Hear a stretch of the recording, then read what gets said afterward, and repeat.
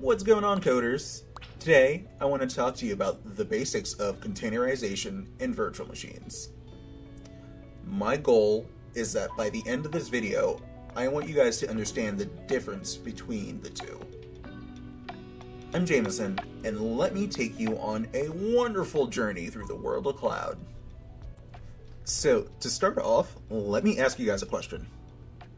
What exactly are virtual machines and containers? In your own words, just, uh, you know, think to yourself for a second. What do these things mean to you? And how do you think we use them today? A virtual machine and a container are both ways to create and run multiple environments on a single physical machine. But they differ in their approach to isolation and resource allocation. A virtual machine is an emulation or virtual instance of a physical machine, including a virtual CPU, memory, storage, and network interfaces. Each virtual machine runs its own operating system and applications, which are isolated from other machines and the host operating system. A container, on the other hand, is a lightweight and portable way to package an application and its dependencies. Containers are created and managed by a container engine such as Docker or Podman, which provides an API to interact with the containers. Ultimately, the choice between virtual machines and containers depends on your specific use case and requirements. Okay, so for example today, let's go ahead and set up a virtual machine together. For our virtual machine, we'll go ahead and use Oracle VirtualBox, which is a popular virtual machine provider. And I'll go ahead and walk you guys through the steps of setting up a virtual machine. Let's go ahead and start. So first thing we'll need to do is go ahead and hit this new, and that will go ahead and bring up the prompt for creating a virtual machine.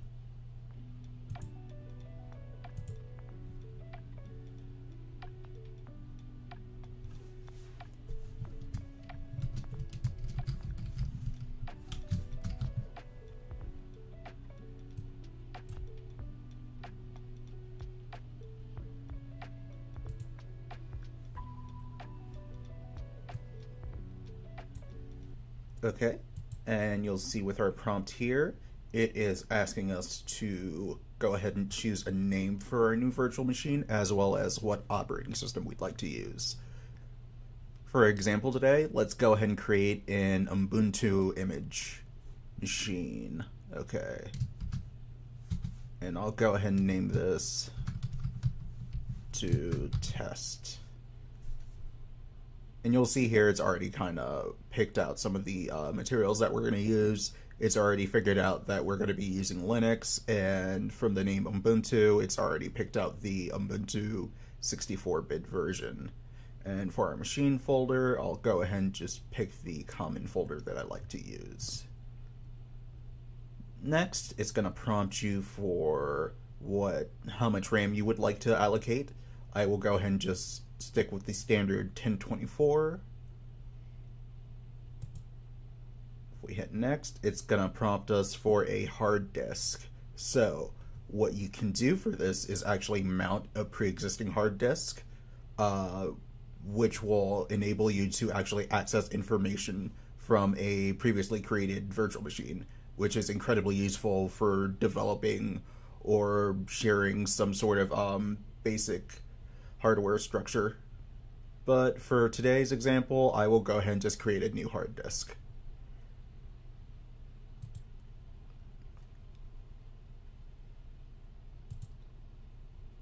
And we'll pick a VHD, virtual hard disk, and we'll make it dynamically allocated. Okay, Awesome. Next, it's going to ask where I would like to save it and how much space I would like to allocate for this. Let's go ahead and do 10 gigs and create. Okay, awesome.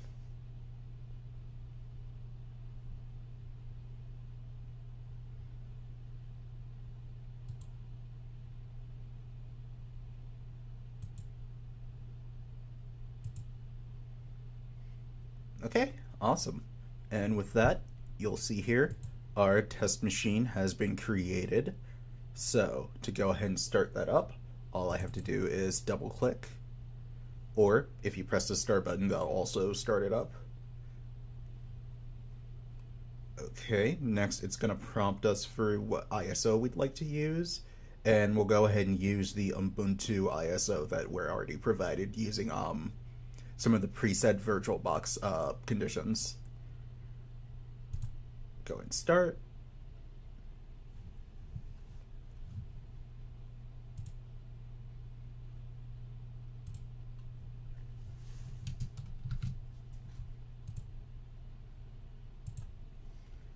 And once we're started up, you'll see that our virtual machine has started to boot. We'll go ahead and give this process a little time and see what happens. Okay, great. It looks like our virtual machine has fully booted up. Now, let's go ahead and log in for the first time. Oh, looks like it's still booting a little bit. Give it another minute or so. Awesome, looks like our virtual machine has fully booted up and now it's prompting us to install Ubuntu. So during the first startup of the machine, it'll act as if you're actually setting up a new Ubuntu uh, computer. So essentially, when you start up a virtual machine for the first time, it'll uh, prompt you to go through all these setup instructions like you're setting up a new computer or a new operating system because we actually are. Let's go ahead and proceed. If we start with install Ubuntu,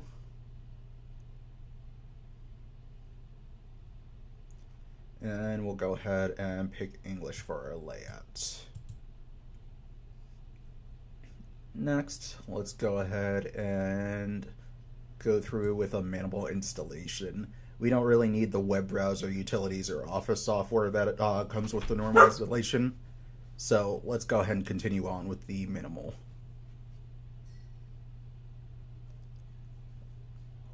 We'll also, you know what, we'll keep the, we'll deselect the download updates.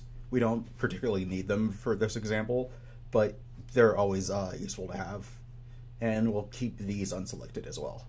So let's go ahead and continue.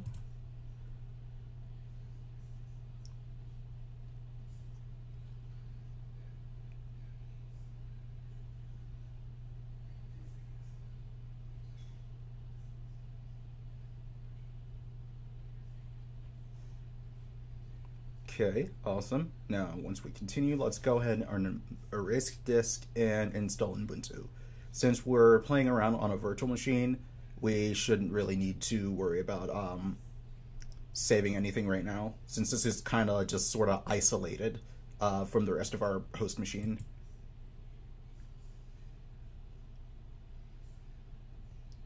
Okay, that's fine. We'll go ahead and continue from there.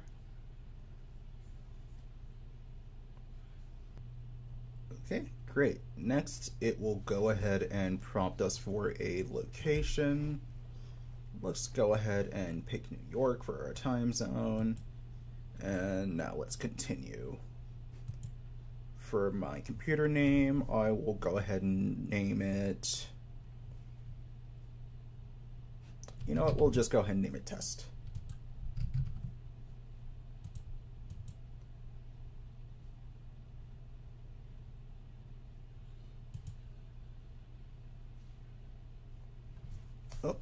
Typed in a little bit too much there. Okay, awesome. We'll pick test, test for the username. And for my password, let's go ahead and put that in.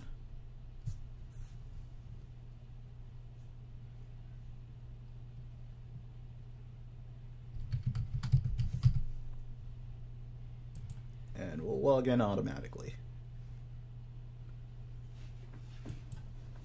Okay, now let's continue.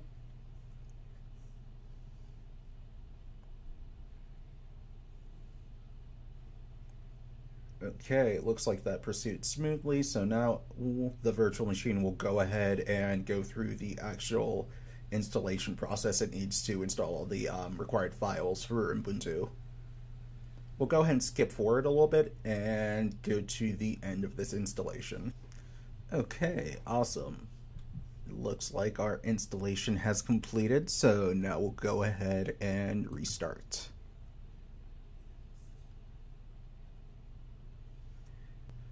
You'll see, interestingly enough here, it uh, actually only restarted the um, internal virtual machine, not the external uh, running window. That's because uh, the virtual machine kind of is isolated as its own infrastructure, so whenever we restart the machine, uh, we can either restart this window uh, or the actual virtual virtual machine layer, or we could restart the um, uh, virtual machine application, which is uh, running Ubuntu right now. Uh, so what we did just now was restart the virtual machine application and not the um, VirtualBox.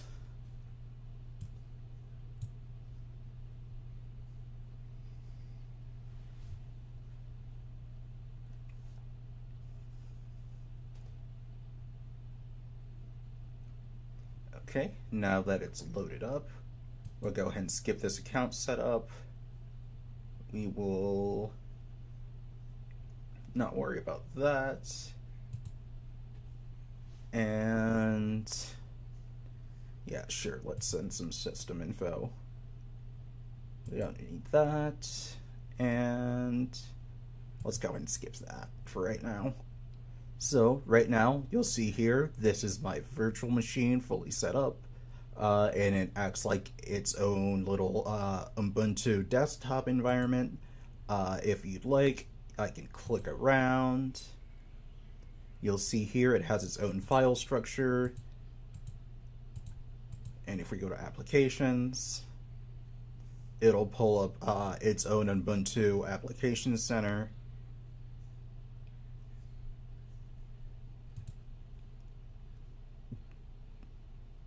And no, let's go ahead and skip that for right now. Yep, that's fine. And it's just going uh, going ahead and updating for a second.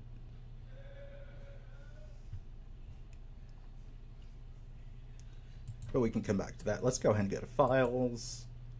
You poke around in desktop, downloads. You'll see nothing here is actually stored because this is our first run. But let's go ahead and go down here to our applications, which will be the interesting part. And for this, you can go ahead and remind me later. Go back to our applications and we'll open up the terminal.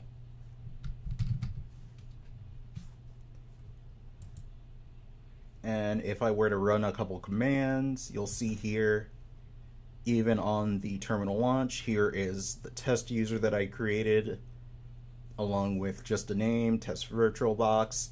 And the interesting thing is, virtual machines will typically know that it's um, a virtual machine. Uh, so in this instance, it already knows that it's a virtual machine running off of VirtualBox, which is pretty cool. Uh, so if I wanted to go ahead and run a command, all I would really have to do is just run it like I would on any Linux machine.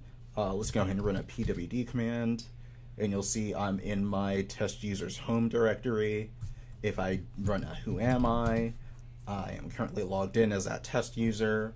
And if I go ahead and run a host name, you'll see that I even have my own isolated test uh, VirtualBox host, which is pretty cool. And I guess that that's about it for this example for today. Um, let's go ahead and shut down our virtual machine. And another nice feature with um, virtual machines is that you have multiple options whenever you want to shut down your machine. So what we can do and what I will do for this example is go ahead and save the state of this machine, meaning that whenever I decide to relaunch this uh, test virtual machine, it'll go ahead and just launch it from this um, instance in time. So it'll bring up the terminal, it'll have all the commands that I had previously run, run uh, memorized, which is really nice. Uh, we also do have a couple other options like send the shutdown send the shutdown signal, which would pretty much just shut down the um, virtual machine. Uh, obviously, and we also have power off the machine, which would just um, shut down the virtual box completely.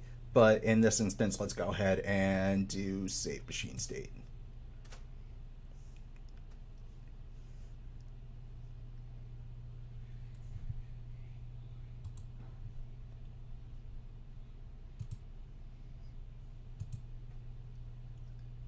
Okay, and that should have shut down properly. And that's it for today's example. Thank you guys for joining in. Thanks again for tuning in. And if you'd like this, click on one of the other links to check out another cool video. I'll see you guys again.